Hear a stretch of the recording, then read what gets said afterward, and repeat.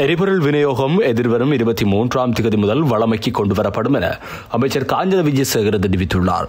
எதிர்வரும் மூன்று நாட்களுக்கு எரிபொருள் வரிசையில் நிற்க வேண்டாம் என பொதுமக்களிடம் கோரிக்கை விடுக்கப்பட்டுள்ளது. இதேவேளை தனியார் பயணிகள் மற்றும் பேருந்துகள் மற்றும் பாடசாலை போக்குவரத்து சேவைகளுக்கு இன்று முதல் இருபத்தி நான்கு மணி நேரமும் இலங்கை போக்குவரத்து சபை டிப்போ ஊடாக எரிபொருளை வழங்குமாறும் ஏனைய எரிபொருள் நிரப்பு நிலையங்களுக்கு செல்ல வேண்டாம் எனவும் எரிசக்தி அமைச்சர் கோரிக்கை விடுத்துள்ளார். எரிபொருள் விநியோகம் எதிர்வரும் இருபத்தி மூன்றாம் திகதி முதல் வளமைக்கு கொண்டு வரப்படும் என அமைச்சர் காஞ்சத விஜயசேகர் தெரிவித்துள்ளார். எதிர்வரும் மூன்று நாட்களுக்கு எரிபொருள் வரிசையில் நிற்க வேண்டாம் என பொதுமக்களிடம் கோரிக்கை விடுக்கப்பட்டுள்ளது.